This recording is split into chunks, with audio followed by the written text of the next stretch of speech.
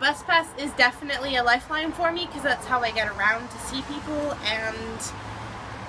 them changing it or taking it away from me is really going to make it harder financially in order to get.